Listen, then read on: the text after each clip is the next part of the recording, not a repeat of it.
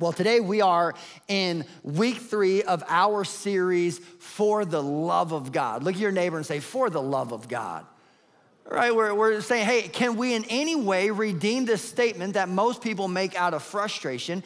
Can we redeem it to make it a statement out of fascination? Like, oh my goodness, for the love of God, he's, he's so good, he's so merciful, he's so loving, his grace is sufficient, and he is for us. He'll never leave you, he'll never forsake you. That God is the same yesterday, today, and forever. He's a good God. For the love of God, I wanna give my life over to him. And I do have to say, I, I thought last week uh, Darryl Strawberry just did a fantastic job. I just thought the blessing that he was to our church and you know, we're so spoiled as a church to have uh, individuals from around the country and around the world come and uh, share uh, from this platform and teach to our church. And every single one of them is remarkable. But uh, I did find with Darryl uh, how impressive he was in terms of his just approachability and humility and his willingness to stay after services and pray with people and talk scripture and get to know them, take photos with them. And uh, his humility was great. And I, I started calling him Uncle Darryl. And I think at some point we might have to have Uncle Darryl back. And I just thought he was fantastic. Can we show him some love? But if you missed last week, you can check that out online. And if you missed week one, you're, you're going to want to go back and listen to that as well because it kind of laid the foundation uh, for where we're going today. In this series, we are talking about this idea of love. I get the feeling that 2024 uh, is gonna need some love in our world. And maybe as a body of believer and as a community of faith, you and I can lead the charge and be an example, and we can have an impact and a positive influence in a world that desperately needs the love of Jesus Christ. Amen. And we live in a world where love, the concept of love, this understanding or idea of love is distorted, diluted, and in many ways uh, misleading. And so we have said, hey, in this series, uh, let's open up the pages of Scripture and what does God have to say about love? Because as believers, we believe God is love. He is the source, the embodiment, the fulfillment of perfect love. And so, what does He have to say on the topic? And what does Scripture say? And how does individuals throughout God's Word articulate and explain? and apply love uh, to our lives. And in week one, we looked at something John had wrote, in which John established this idea of agape. Someone say agape. And at the time, most of these individuals who were writing, they were writing in the Greek. And, the Greeks had four words for love. One meant uh, a love that pertained to desire and need and longing. Another was a, a love that was based in affection. And the third was a love that was based in friendship. These are all responses to something. They are what would be known as secondary loves. And then there was a fourth, and that was agape. And what they established in scripture is agape is a primary love. It's not a response, it's a reality that love existed before you and I came to be. In fact, you and I uh, have our being as a result of perfect, infinite love that God, in His love, set into motion humanity. It's amazing. And what that says is, it is God's love for us that instills our value, our worth, and our identity before we ever had to do anything. That you don't have to perform to earn God's love. God loves you not because of who you are, but because of who He is. And so that's kind of the cliff notes of what uh, week one was about. And it's just really important for you to understand that uh, there's nothing you can do that could earn more of God's love. And there's nothing you could do that could ever lose any of God's love, that God loves you perfectly and fully at all times forever. That is outstanding. And so it is learning to live from the love of God, from this posture of strength and confidence, knowing that we are loved unconditionally, and for the love of God is where, where we're going now in this conversation. And when I say for the love of God, please know this. I'm not saying you and I should wake up every single day and live in a way that earns God's love. It's not saying, hey, I'm doing this for God's love in return. No, it's saying, because I've been marked by this grace, because I have had this experience with Christ, I now live on mission to accomplish love's purpose in the world. I am now a part of God's, you know, redemptive plan, and I wake up every single day with the mindset and the posture of I am accomplishing and participating in love's mission in the world for the love of God, essentially. And Today, we're going to look at something the Apostle Paul said. In fact, many scholars and commentators would say that what Paul writes in the book of Corinthians is the greatest essay on the concept of love. So, this is a big one, we're gonna do some heavy lifting. And chances are, like most cases, I'm gonna overdo it and probably share too much information, uh, but we're gonna get through it together. And this comes to us in 1 Corinthians chapter 13, which a lot of people are familiar with 1 Corinthians chapter 13. In fact, maybe if you're here and you're not a Christian, you're familiar with 1 Corinthians chapter 13 because you've been to a wedding. And most weddings quote this verse, which says, Love is patient and love is kind, right? It, it, keeps no record of wrongs and it doesn't rejoice in evil, but it always trusts, it always perseveres. Love never fails. It's this beautiful crescendo of the idea. And though it is appropriate uh, to read a passage like that at a wedding, and I've done so many times myself, it is important to know that when Paul first sits down to write this letter and this essay on love, he's not writing it to a couple getting married. He's writing it to a church. And so this idea of love is aimed directly at a community of believers. And it's when we understand that this message is also aimed at a community of believers such as ourselves, we can gain tremendous value and insight as to what does God seek to do in and through our lives. But before we read the passage in its entirety, uh, I, I, do want to give you some context. I do think if you, you don't take scripture in its context, you could really miss the point. And Corinth in ancient times was a very influential city. In fact, in terms of real estate, it was only four miles wide. So it wasn't a big piece of land, but it was strategic and critical in the sense that it was the piece of land that connected the north and the south region. Uh, Timothy Keller, who is uh, one of the greatest influences on my personal theology and just philosophy of ministry, who recently passed away, is a tremendous thinker, pastor, teacher, leader. Uh, he once said that Corinth was the ancient equivalent of the Panama Canal that so much of commerce and trade and progress within the day had to run through Corinth. And what you find in the history books, and again, never take my word for it, you ought to be a student and go do your own research. What you find is there came a point where the Romans conquered Corinth. And for a season, uh, for a few years actually, Corinth lay dormant. Nothing was happening there. And then the Romans realized wait a second, this is a strategic piece of real estate. We need to uh, invest into it. We need to put infrastructure into it. We need to maximize on this land because there's a lot of opportunity there. And as the Romans did so, people began to gravitate to Corinth. And it was a place of opportunity. It was a place of affluence and influence. And it was a place where people with ambition and dreams uh, would come together. And so it was widely diverse, it was highly influential, and it was very affluent. It would be, many ways, the equivalent of our modern day New York City. And what I love about Paul is Paul was just so bold in his faith that he would just go on mission. he's like, listen, I believe that the gospel applies to every context. And I believe the gospel applies to all people. And Paul was a leader of leaders. And so he would say, I am going to go and engage the influencers in our culture. And I'm going to go engage the influencers in our society because if I can have an impact on them, well, if I lead the leaders, the leaders will lead everybody else. And so he would go to these cities and he shows up in Corinth, and again, if you want some extra homework, I can't go there today, but Acts chapter 18 would be a great chapter uh, for you to read this week because it tells us about Paul's arrival in Corinth. And what I love about Paul is he just shows up on the scene and he just begins reasoning with people. In fact, that's the statement you'll read. Paul would reason with those living in Corinth. And at times he would get in debates and he would persuasively defend the gospel and the cause of Christ. And eventually people started coming to know Christ.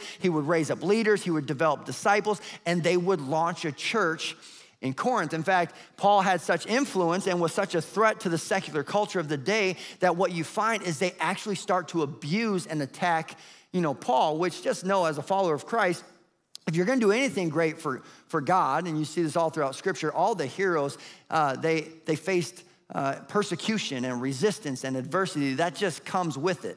Uh, the birthmark of a follower of Christ is a target, and it seems to enlarge the closer and closer you and I get to our purpose in life.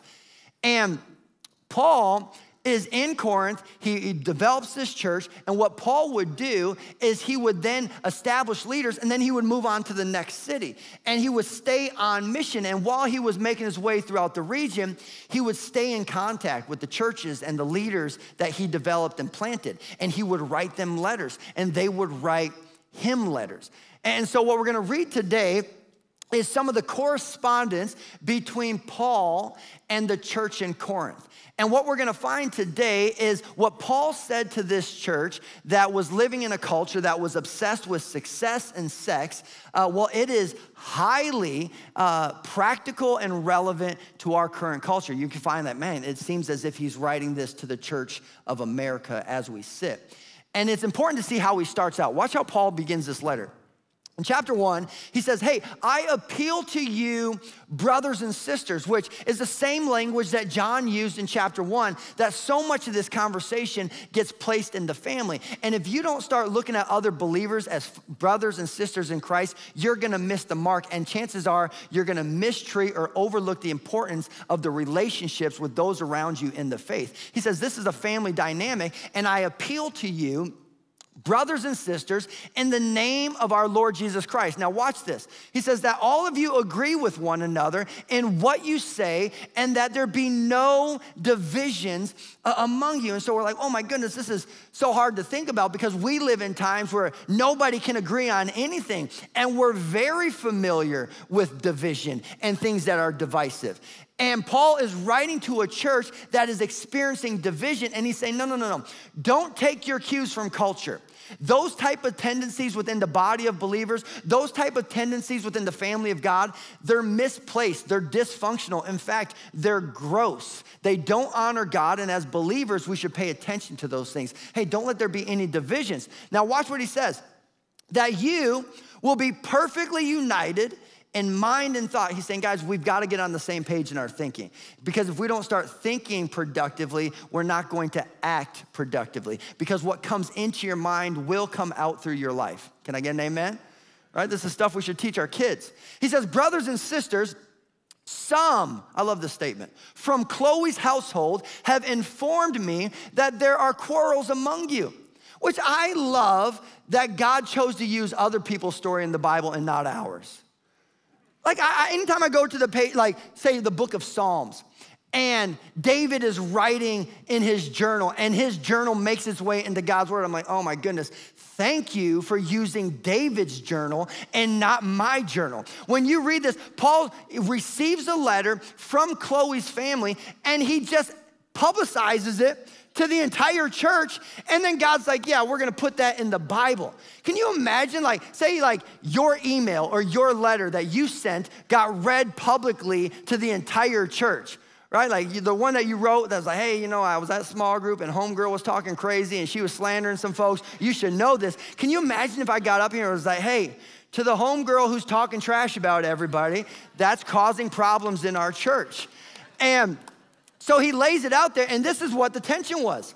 He says, What I mean is this one of you says, Well, I follow Paul, and another says, I follow Apollos, and another says, Well, I follow Cephas. Still, another says, I follow Christ. And I'm like, Oh my goodness, God, help us sidestep this error. Let this never be true of our church. You're saying there are four camps and three out of the four get it wrong? That one's like, well, I follow Paul and I follow Cephas and I follow Apollos, and only one out of the four, 25%, actually get it right. And they're like, uh, I follow Jesus, right? And so this is a huge miss. And what I love about Paul is he just doesn't leave it, he, he presses on it.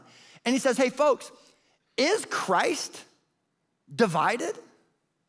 Which, here's something you should know there are no churches in heaven.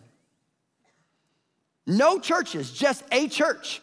And what's gonna be so comical, I can't wait for heaven. I hope there's popcorn. I just wanna find a bench and I just wanna watch the whole thing. Because you're gonna have all these Christians who spent their whole life arguing with each other over nonsense, and they're gonna show up and they're gonna be like, crap, we're all on the same team Like, who thought we were all gonna be a part of the same church? Because we, we at times just fight over nonsense. And Paul's like, yeah, be careful about this stuff because this will hinder a church's productivity and you will forfeit your potential and all that God could do in and through this body of believers. And what I love about Paul is he's a good leader. He doesn't go on to talk about Apollos. He doesn't go on to talk about Cephas. No, he just, he focuses and takes ownership on his own end. And he says this. He says, hey, was Paul crucified for you? He goes on to say, Were you baptized in the name of Paul? He takes it further and he says, I thank God that I did not baptize any of you except Crispus and Gaius, so no one can say that you were baptized in my name. He's like, I didn't do this for this purpose, but I'm so thankful that I didn't run around baptizing a bunch of you because you would be missing the point. And what Paul is saying to the Corinth church, and the reason why God put this in his word is because he knew, hey, this isn't the first time God's people will struggle with this, and this isn't the last time God's people will struggle with this. We have a propensity and a tendency to miss the point. And Paul's just saying, hey, as believers, you ought to be sharp in your thinking. Hey, let's not miss the point uh, because God seeks to do something amazing in and through our lives. And what Paul is pressing on here, and something that you and I need to always pay attention, is the difference between preferences and convictions. A lot of times you, you, people get confused by this. In fact, you could uh, say that this is a mark in spiritual maturity where individuals uh, think their preferences are convictions. And what happens is we get really passionate about our preferences and we start attributing to those preferences the weight of a conviction. And no, convictions are rooted in Scripture. They're rooted in God's Word. They're rooted in His command, His principles, and His truth. And they are anchored in the way, the truth, the life, and His name is Jesus Christ. Those are convictions. And then there are preferences. And look, everybody has preferences. I have preferences. You have preferences. And what Paul is saying is when churches get focused on preferences and they start to assume their preferences are convictions, they start to miss the point. And how does it play out in the story of Corinth? They started preferring different leaders. Well, I prefer Apollos, and I prefer Cephas, and I prefer Paul, and those are all preferences. What's the conviction? I follow Jesus. The cross before me, the world behind me, no turning back. I have decided to follow Jesus. That's the conviction. And as believers, we need to be mindful and be able to delineate hey, this is a preference, but this is a conviction. And in addition to that, I think it is really critical for us to always remember there is an ocean of a gap, a chasm between leadership and lordship. And this is the thing that you're gonna be like, man, he makes this point often. He says this a lot, and some things need to be repeated because we often need to be reminded.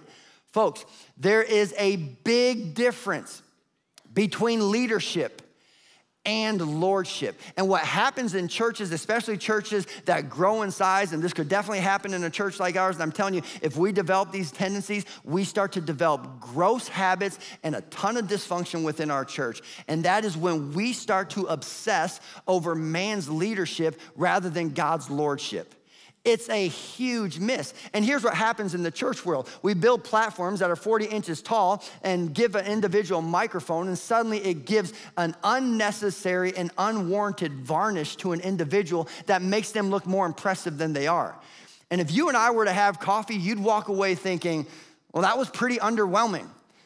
The only difference between you and I when we show up is they give me a microphone, but it is level ground at the foot of the cross. Don't ever get obsessed with man's leadership and overlook the lordship of Jesus Christ. He is the head of this church, He is the King of Kings, He is the Lord of Lords. He's not retiring, He's not resigning, He's immovable, and He is faithfully leading the charge. And He made a promise upon this rock I will build my church, and the gates of hell will not prevail. And anyone who wants to join me for the ride will have the thrill of a lifetime, and you'll get to experience a fulfillment and a joy and a purpose that surpasses anything else this world can offer. I mean, Paul's going in, and I'm just telling you, guys, Jesus is a big deal. like when we substitute man for God, And please don't ever do it to me because I'm, I'm telling you, uh, you're gonna put a lot of pressure on me that's gonna stress me out, and I'm going to disappoint you, I'm gonna let you down. Uh, it's about His Lordship. And it's in this context that Paul then just starts to run the gauntlet of topics. And he's addressing everything like, hey, Chloe told me a lot of things. And we're just gonna, we're gonna address them all. And so he's going down the list one after another. Well, then he comes to chapter 12. And in chapter 12, he starts talking about the body, that we are one body with many parts. You ever read this? Wave at me if you've ever heard this passage. Because what happens is, is they're in Corinth and they have all these people who are really ambitious and really obsessed with success, and they're really excited about their gifting, and they're really excited about what sets them apart. And so there's all this competition within the body of Christ. So I'm an ear, you're an eye, you're a tongue, you're a toe, whatever it was. It's weird, but they're competing with each other. And it's in this idea of the body of Christ that Paul then takes it further and he starts to address spiritual giftings, which I know some people, when it comes to the spiritual gifts, the things that you see in the book of Acts, especially Acts 2 and so forth, uh, people get uncomfortable. And I would say that I fully believe in the gifts of the Holy Spirit, 100%. I believe in the gifts of the Holy Spirit. Now, know this. Um, there is a spectrum to that statement. And there are a lot of individuals who would make that same statement who I would say, but how you and I apply and approach and think about that is not always the same. And I think to have some balance there, I don't think the church should be a circus. And I think a lot of times the way in which Paul is talking about the order of the gifts of the Spirit uh, is more of a context like a small group, not a church meeting across 15 locations. So you have to understand some of this stuff. And here's the thing I believe, and this is where I'm at, if you wanna know where I'm at, uh, I believe that if the Spirit of God, the same Spirit that rose Christ from the dead, is living and residing in us, well, if He's God and He can raise a dead man back to life, He can give me a vision and He can heal a person and He can give a prophetic word and yeah, He can give people utterances of tongues. And if it's on the menu, I'm gonna order it. Come want anyone venture off on the menu? But here's what I think we go sideways when we start to think, well, the goal then is to manipulate God. And the goal then is to conjure up some wild experience where we show up acting nuts and we miss the point. And then we get so obsessed with gifts, we overlook the giver of the gifts. And that is a huge miss. I don't think you need to twist God's arm. I think you need to faithfully follow Christ. And if God wants to do something in your life, He's God. He can do whatever He wants. Let's not manipulate God. And so he's creating this tension. Now, you have to understand this because he's going somewhere with it. And at the end of chapter 12, he says, But folks, I will show you the most excellent way. I mean, what a statement. He has just addressed all these things within the church. And he's like, But here, I want to show you the most excellent way. In fact, this is what God has in mind. And a church that anchors itself in this mindset and this approach and these values, this is the type of church that accomplishes God's full plan and purpose for their body of believers. And this is the type of church that really hits the mark in what God has in mind. And he says, I will show you the most excellent way. Now, watch where he goes. Just talking about the body, spiritual gifts. Now, watch what he says. He says, If I speak in tongues of men, of angels, but do not have love, I am only a resounding gong or a clanging cymbal. So imagine if you showed up to church, like, oh, I'm so excited to hear a word from God. And I got out here and I grabbed a stick and I went over to the drum kit and I just sat there for 40 minutes banging on the gong. You would think, this is annoying. I have a headache. I don't want to do any of this, right? And Paul's like, yeah, that's the point. When you have this gifting without love, it's just a bunch of noise. And he goes on to then say this If I have the gift of prophecy, and can fathom all mysteries and all knowledge, and if I have a faith that can move mountains, but I do not have love, I am nothing. He goes on to say this if I give all I possess to the poor and give over my body to hardship that I may boast, but I do not have love, again, I gain nothing. He says, Love, though, is patient. And love is kind. It does not envy. It does not boast. It is not proud. It does not dishonor others. It is not self seeking. It is not easily angered. And love keeps no record of wrongs. I love that. He says, Love does not delight in evil, but rejoices with the truth. It always protects, it always trusts, it always hopes, it always perseveres because love never fails. I mean, this is the crescendo of the idea. He says, But where there are prophecies, they will cease. Where there are tongues, they will be stilled. Where there is knowledge, it will pass away. For we know in part and we prophesy in part, but when completeness comes, what is in part, it disappears. What he's saying is, guys, there comes a point where we step into eternity, and much of our spiritual faculties this side of the grave are no longer necessary. He's saying, just understand, keep these things in balance. He says they disappear. When I was a child, I talked like a child. I thought like a child. I reasoned like a child. And many of you, you've grown your faith and you look back on the things you used to think and say when you were early on as a believer. You're like, yeah, I used to think and reason and talk like a child, and I grew out of that, is what he's saying.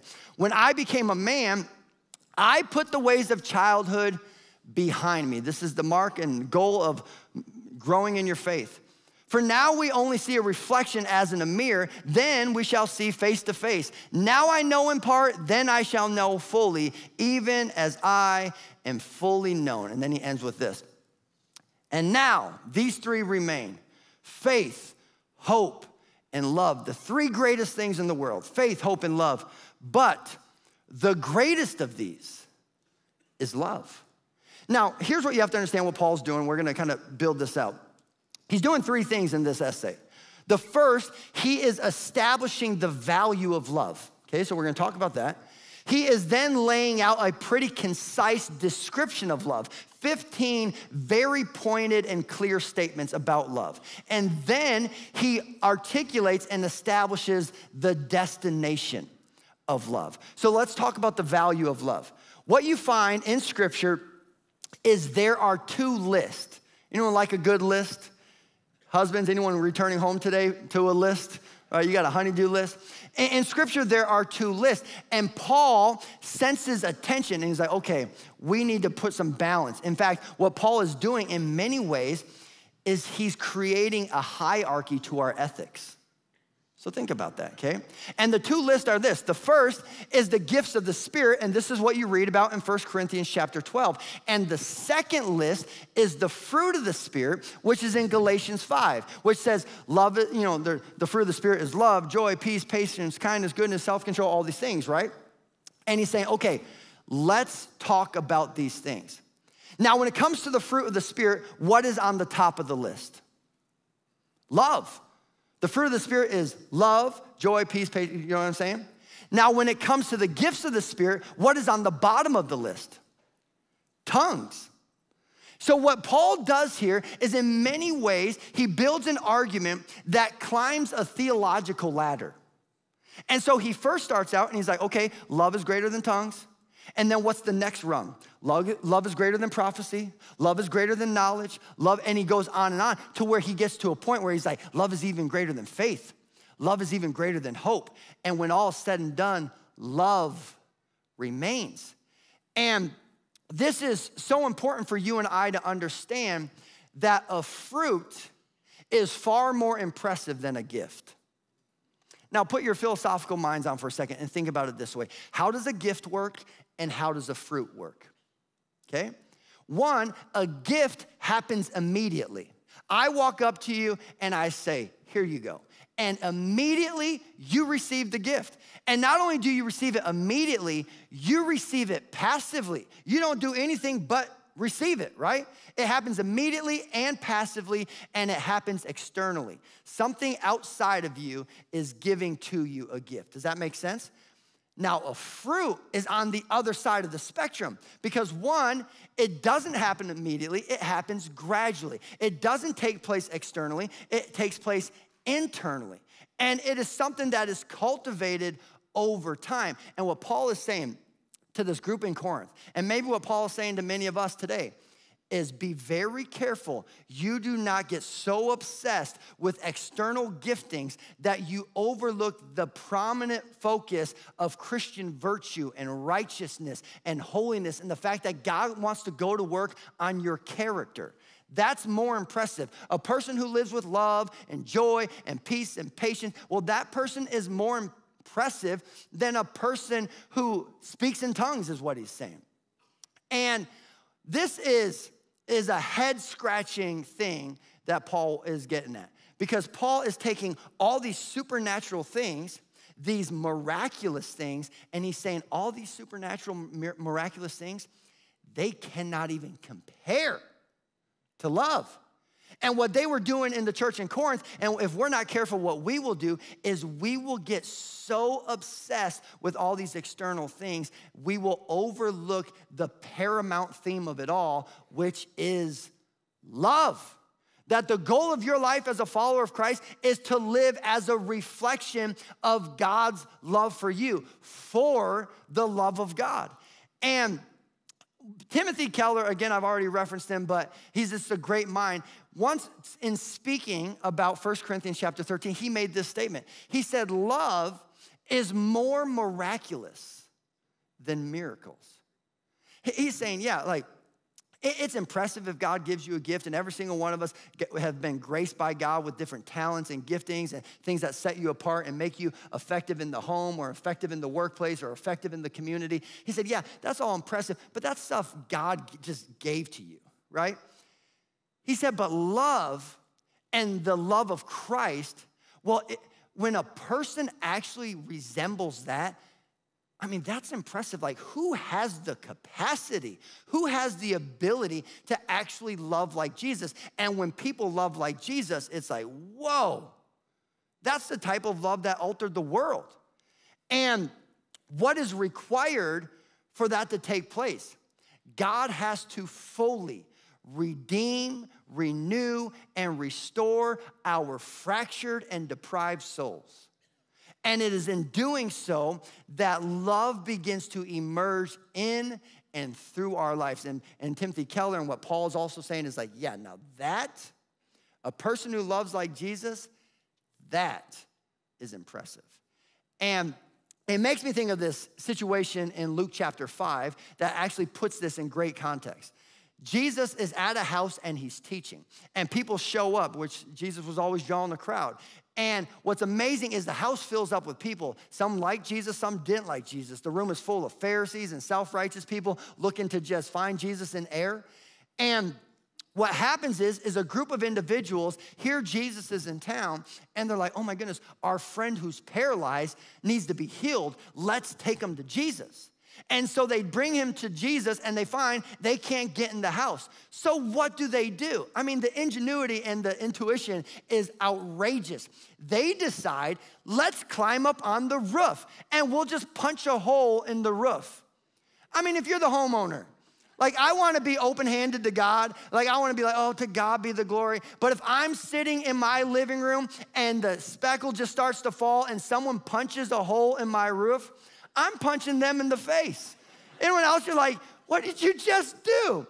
And they lower this man down before Jesus, and Jesus says something just outrageous. He tells the man, Your sins are forgiven. And, and I, guys, the self righteous people in the room, they lose their minds. The Pharisees are like, he's a blasphemous, he's a heretic. Who can say your sins are forgiven? And Jesus so brilliantly turns and responds to them. And watch how he responds. He says, Jesus knew what they were thinking and asked, Hey, why are you thinking these things in your hearts? Which, again, if you're a note taker, which I do think note takers get to skip the line going into heaven, I would write down that question.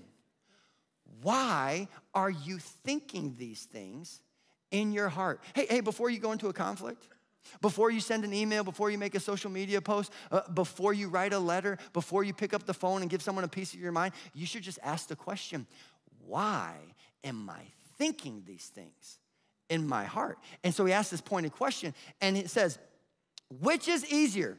Watch this question, this is brilliant. To say, your sins are forgiven or to say, get up and walk? Think about that question. Which is easier, to say, your sins are forgiven, or to say, get up and walk? But he goes on to say, I want you to know that the Son of Man has authority on earth to forgive sins. So he said to the paralyzed man, I tell you to get up, take your mat, and go home. Now, watch how this ends. It says, immediately he stood up in front of them, took what he had been lying on, and went home praising God. And this final statement is just so fascinating to me. It says, everyone was amazed and gave praise to God, and they were filled with awe and said, Watch the statement, we have seen remarkable things today. We have seen remarkable things today. Now hold that in your thought for a second. The question that Jesus starts out with which is easier? To say, pick up your mat and walk, or to say your sins are forgiven. And here's the thing the two cannot even compare. For, for Jesus to say, pick up your mat and walk, all he has to do is give the word. But for Jesus to say, your sins are forgiven, oh my goodness, this is a much bigger deal. This means he has to split the skies, come from heaven to earth, take on human form, live incarnate, and live a perfect and sinless life. Never rolled his eyes at Mary, never scoffed at Joseph, never impurely flirted with a girl in grade school, never had an angry thought. Like he was just so like pure and sinless. And then after establishing his ministry, after rolling out and introducing his ethic of love, after establishing the kingdom of God at work, he then picks up his own cross and he marches to Calvary's Hill and he allows them to publicly execute him in public. Now, before we judge this group, just place yourself in the scene. Uh, think about this. If you were at the foot of the cross and you got to stand by the soldier who went up to Jesus and was like, I just want to make sure he's dead, and takes a spear and stabs him in the side, and then you walked with the group of people as they took his dead body and they placed it in a tomb, and then you just decided to hang out with the soldier who was tasked with the job of watching over the tomb, and you got to see Jesus Christ resurrect from the grave three days later, and you got to attend the breakfast he had on the beach and you got to have all the meetings with over 500 witnesses that he had, what would you be thinking? You would be like, oh my goodness, like that just happened, right? You would be blown away. And, and here's the thing if we were to roll uh, an individual who's been paralyzed their whole life out here onto the platform, and we were to bring them out here into a wheelchair and we say, hey, let's all believe in faith and let's pray over this individual, and we were to pray over them and they were to stand to their feet and walk, what would we do? We would lose our minds. And for good reason. We ought to celebrate that. Like, look at that miracle. And what Jesus is saying is it's not to say that you shouldn't celebrate that, it's to say you're not celebrating the more impressive miracle. It is far more impressive to say your sins are forgiven than it is to say get up and walk because you can be healed and not saved. But if you're saved, every single one of us will eventually and eternally be healed. It is so impressive. It's so great. And here's the head scratcher, and please lean in on me. And you're, I know you're gonna have to go home and you're gonna have to open up your own Bible, which is what you should do. Um, but here's what Paul is saying He's saying there are people who have been graced by God with different giftings. Every single one of us have different giftings. And he's saying there are some people who are operating in giftings from God, but they're not saved. And maybe if you want to do some additional homework, I would say go to the book of Numbers and look at Balaam. I would say go to the Gospels and look at Judas. And most scholars would say you could also put Saul into that category. You could go to 1 Samuel and look at the case of Saul. Individuals who were effective with different giftings, um, but their soul was fractured and they weren't saved. And you're like, can that be true? Well, let's just see what Jesus said. This is not everyone who says to me, Lord, Lord, will enter the kingdom of heaven, but only the one who does the will of my Father who is in heaven. And many will say to me on that day, Lord, did we not prophesy in your name and drive out demons in your name and perform many miracles? And then I will tell them plainly, I never knew you. Away from me, you evildoers. What he's saying is like, there will be people who will camouflage themselves in gifting as saints. You know, it's a, a, an interesting dichotomy in Scripture. All the sinners in Scripture thought they were saints, and all the saints in Scripture thought they were sinners. I just think that's interesting. And he's saying there will be individuals who go through their life so proud of how gifted they are. And they'll get to the end of their road and they'll recognize, but behind it all was emptiness. Just utter emptiness. And, I, know what you're thinking. So that's crazy. God gives people who are not Christians? Well, absolutely. Can you imagine how miserable the world would be if only Christians could do good things? No good architects, no good surgeons, no good teachers, no good parents. And God gifts us whether or not we receive Him as Lord and Savior or not. Because what does the Bible say? Every good thing, every good thing comes from above.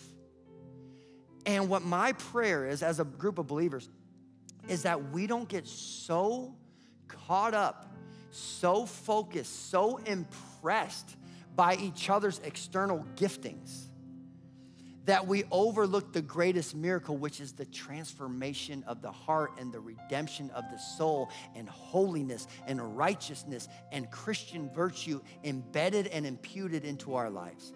Individuals who live with that, individuals who fully surrender their life to Christ, that's what happens. They're not just individuals who have gifts, they're individuals who bear fruit love, joy peace, patience, kindness, goodness, faithfulness, self control. And Paul's like, yeah, that. And I just think if you're not a Christian, chances are you're impressive and chances are you're doing well in a lot of areas in life. But there is coming a defining moment for every single one of us. And if you don't fully surrender your life to Christ, you are going to be so disappointed with the reality of your soul when you meet your Maker. But when you do, you live transformed from the inside out and you live with an anticipation and a joy and just an optimism. I cannot wait to see my Creator face to face. And eventually, all this other stuff is going to go away. But love, perfect love, is going to remain, and we'll call it home. Oh, that's amazing. I love it. I love it.